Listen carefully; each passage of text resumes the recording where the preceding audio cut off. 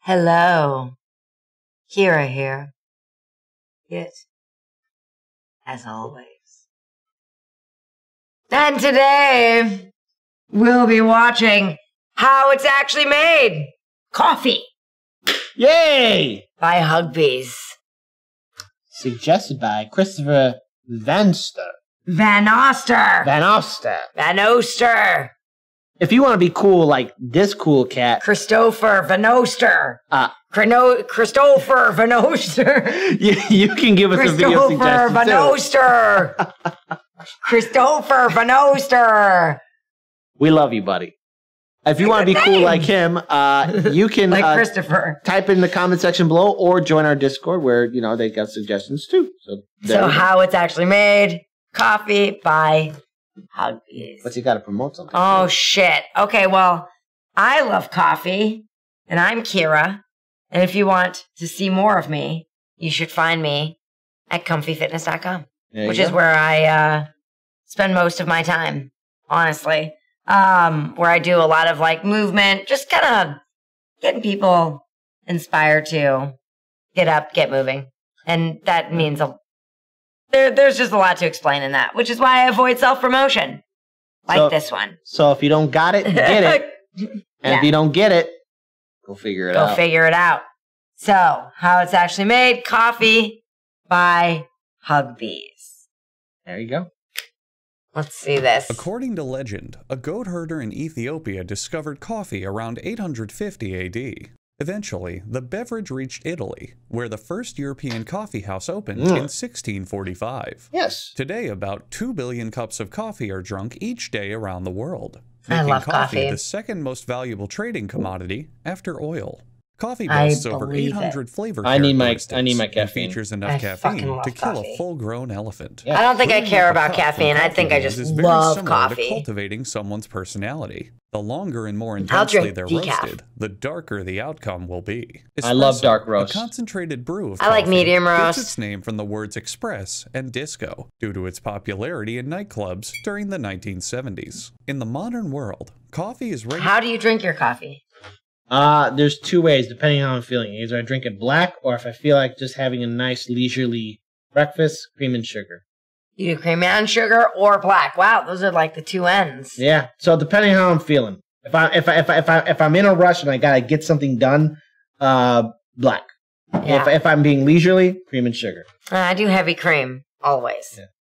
regularly consumed in every single industrialized country, except Kirgizistan, because I just made that one up. Gir- I was like, that is not a place that exists. I, I'm doesn't pretty just sure. involve a fresh cup of coffee, but a pair of freshly shaved testicles as well. There we That's go. why Manscaped is trusted by more than 4 million men to provide cutting-edge Good. tools and formulations for your below-the-belt grooming. Right. Manscaped is introducing the Ultra Premium Collection with a 2-in-1 shampoo conditioner, Ooh. body wash, hydrating body spray, Yeah. aluminum-free deodorant, I like the name of it, moisturizing balm. Manscaped.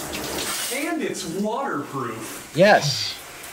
Manscaped also offers a peak hygiene plan that will replenish your supply of like Manscaped products on a regular cycle Yeah. by shipping them right to your door. There That you go. by the See way, that shaft in those balls? Even Yeah. if you're international, Smooth. but only And if you clean use and efficient. Huggbees. 100%. And with code Huggbees, you'll also get 20% off your first order. 20% That's your off 20% order. off your first order, plus free international shipping with promo code Huggbees at manscaped.com. Manscaped. That's, That's right. You gotta be smooth and fresh and clean.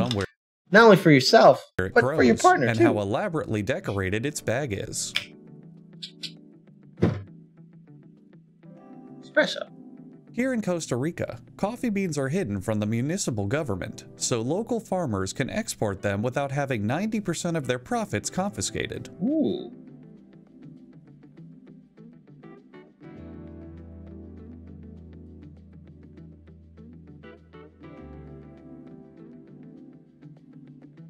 This is coffee.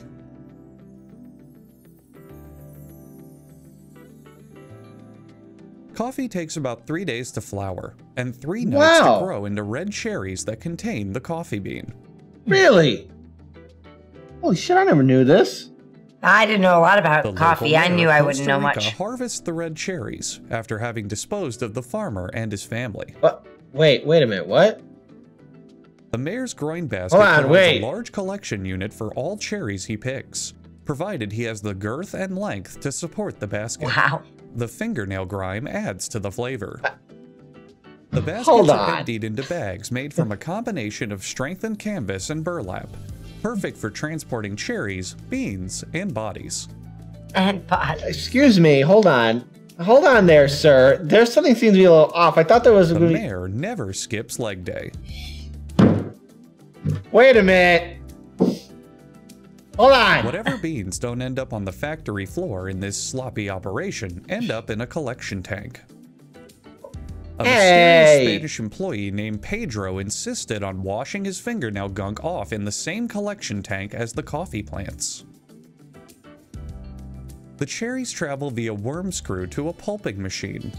Pulping machine is just a politically correct term for giant mashing machine that squeezes the shit out of the cherries. Okay. Okay. I see where this is going. I feel It's cheated. so easy, even a factory worker can do it. Even a factory. The beans travel down a lazy river to two large It's so sifters. easy. No, wait. Typically, Even the a park factory enforces a policy of staying in your inner tube. is why machines no do tube it. jumping, but everyone tube jumps. That's just part of the fun. The paradox of the lazy river is most people aren't lazy in it. Most people like to fuck around and throw shit all the time. You know what? Fuck this park. It sucks. The beans continue to soak in a combination of 50% water, 50% park guest fluids until they, oh hey, it's Pedro again. Oh. You know, on second look, his mustache looks kinda fake. That's a bit weird. The beans drop into a drying bin. Workers then lay out the beans in the shape of the American flag to pay tribute to the country that consumes the most coffee per person per year. That's us, USA. country that consumes the Ah, most I contribute to that big year is actually time. Finland, but America is cooler, so let's just roll with it. Yeah, there Once we the go. beans are patriotic enough, they go into a milling machine. Once the First, it's into a mill, which is located in a house. The dried beans are empty onto the floor of the house with the mill. Locally, this is known as the Bart Simpson. Pedro's father gives the beans a soft touch, as well as a tender kiss, to let them know that everything will be okay. the beans are shaken vigorously to piss them off and help them unlock their buried potential. There you go. That's right. That's how that works. That's how it must happen.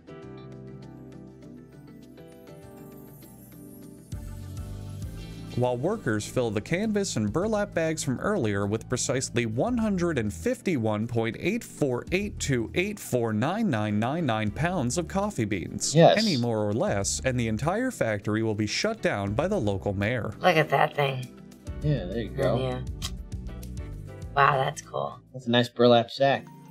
After being filtered through a cage of starving refugees for cleaning, the coffee beans enter a roasting Come machine. on! I Some thought there viewers was going to be more noticed to how similar this. chocolate production is to coffee production. Don't worry, we've all noticed what a giant nerd you are. A factory worker looks at some beans, looks at the beans up close, contemplates life's futility, and then looks at the beans again. Yeah, frequently. Yes, I think that happens. Yes. The Beans get so hot they start to steam. Hence why in upstate New York, coffee is often known as Contemplates steamed life's beans. futility. No, it's not called Factory Steve manager Beans. scoops out some beans just to double check that they haven't disappeared yet.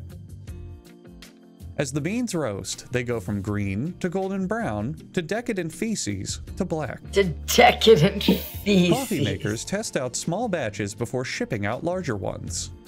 Testing products before shipping them is a fairly radical concept, but coffee makers are pretty radical people.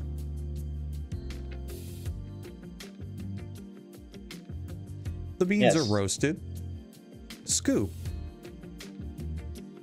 kerfloganized, Kerfloganized. They're kerfloganized. Yes. scooped again, Kerfloganized. and turned into four Fucking love it. ridiculously large cups of coffee. Yes. Oh, I love it. Her Kerfloganized. Yes. I wasn't the one that kerfloganized them. A soothsayer predicts the future of the coffee through a tasting ritual. The tasting ritual begins with smelling the coffee's aroma to determine its success in dating, money, and family affairs. Hmm. Then she skims the surface to predict which prominent world leader will die next. This process has a 99% accuracy rating. 99% of the time, it's completely wrong. She takes a sip for the taste test and then spits it out. This coffee ah. backwash will be used to coat the beans before they're shipped to give them a mystical flavor. I That's always, not true. I always wonder where that magic came Any from. rejected That's coffee beans are sent to a heavy duty grinder. This grinder powders the beans up and mixes them with potting soil to create fertilizer to sell to industrial farms.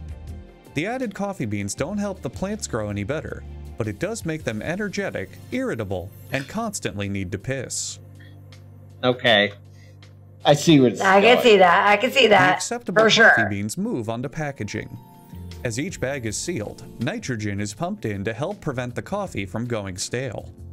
It's often recommended to immediately huff this nitrogen upon opening the coffee bag. That's right. Capture its freshest aroma. I have to remember that. If customers are unable to do this, coffee producers recommend purchasing a tank of nitrous oxide and wearing it while you sleep to enhance the flavor of your first cup of coffee in the. Come on. Awesome. Content warning. espresso machine. The barista This may have demonstrates the technique not to create the perfect true. espresso. Well, wait a minute. This isn't really how coffee is made anymore. This is just how to make coffee. Does that count? I guess technically it's how coffee it's made, I, I- but it, but it's not. It's it's not how you produce coffee or make coffee the product. Mm. It's how you actually use the coffee that you purchase. But okay, although you can also buy coffee from like a restaurant or or uh, something, and I guess they do have to make the coffee. So this is how coffee is also made, I guess. Yeah. Well, yeah. okay, this is espresso though. This espresso is made differently than regular coffee. And Well, Yeah. yeah. oh fuck, I'm so confused. No, it's not that confusing. Look, They're- they're the, using- where they're they're prepared is different. Now. This is just getting more complicated. Okay, you know what? How coffee is made, and how to make coffee. Yes. There you go. It's Filter. okay. But then that would mean that the initial process isn't how coffee is made, but how coffee is prepared. Yeah, that's what I Fuck said. It's prepared. Coffee. Prepared. It's made. It's made. The end. Yeah, Yeah. Stop it's how video. coffee is prepared. When I read it was how coffee is made, right? Because that's the title. How it's actually made. I thought of like the origins, how it's like Yeah. you know picked, you know, and how it's okay. you know all of that. And, and and so I think he titled it correctly. I think once you start getting into the weeds and the minutia of like fucking espresso versus coffee, Yeah. cappuccino versus mocha versus latte, Or frappuccino. all of it, right? That's how coffee's prepared. So I don't. This reminds me of something from Rick and Morty, but I'm not going to say it because spoilers because you haven't seen it. All right. Okay. But I think we all know what episode we're talking that, that I'm talking about. Okay. For the initiated. That's all I'm going to say about it. But I, I let's just say at first For I the th- initiated. for the initiated. Uh, for the uninitiated, get your learn on. But I. On. I, I would say uh, I I was pleasantly surprised that it was actually a more humorous uh, take. So I'm going to say I learned something.